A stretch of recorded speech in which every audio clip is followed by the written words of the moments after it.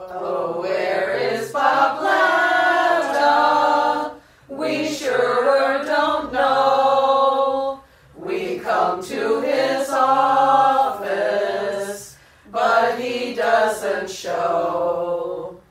We just want a town hall to share our concerns, but he doesn't live.